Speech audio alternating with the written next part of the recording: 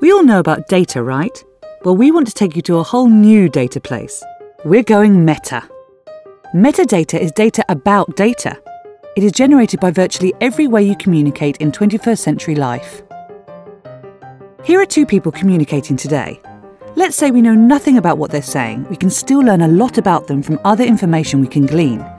Metadata is this intelligence. So, this means things like locations, times, durations, and data about the device you used.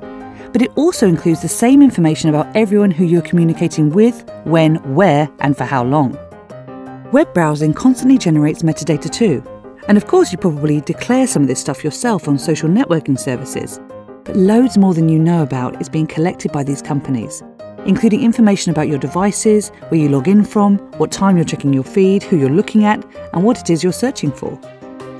The creation and disclosure of metadata even continues when we sleep, because our devices are continuously communicating with cell towers and other networks about what we're doing and not doing. You actually don't have to do anything to produce metadata, which is a bit nuts. When it's all put together, metadata says a lot about you. So obviously, it's the data controller's golden egg. It's highly valuable for advertising purposes because by generating these vast profiles of an individual's private life and interactions, companies will compete to target us with marketing and advertising. We know this. We see evidence of it in the right hand ad panel of most sites we ever visit these days. But it's not just industry that is so hungry for metadata. Not very long ago, if governments and police wanted to know things about you, like where you'd been and who you're friends with, what newspapers you read, they would have to question you or get a warrant to pursue their investigations. But not anymore. Metadata tells them instantly. And since, as we've seen, it doesn't contain the content of your communications, metadata isn't given the same legal protections, despite revealing just as much, if not more, as the content of our exchanges themselves. You might have actually already heard of metadata, because just metadata is something governments talk about a lot. It's just plain old metadata. That's all we're gathering. Not spying on the content of your emails or phone calls. No, siree. Just plain old metadata. Nothing to worry about. Carry on with what you're doing. Since metadata reveals relationships, access requests for this information are often very broad, and governments require that companies collect and store this data for years.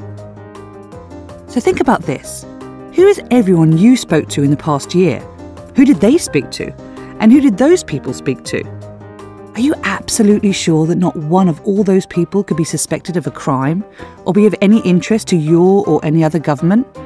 Because if they are, then that makes you part of the network. Surveillance of this kind automatically places you within the net without any wrongdoing on your part.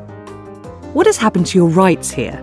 Conclusions based on assimilated metadata are often entirely circumstantial. So, on top of everything else, this is leaving us in serious ethical muddy water. All because you knew someone who knew someone who knew someone of interest, or all because you were somewhere where someone of interest was. But it's only metadata, right? It only paints a very accurate picture of you based on a compilation of your locations, contacts, interests, reading habits, searches, friends, family, professional and personal life and history over extended periods of time. What's the big deal? On the other hand, if you'd like to see it get the legal protection it deserves, Privacy International are fighting to end indiscriminate metadata collection and retention. Learn more and join us at privacyinternational.org.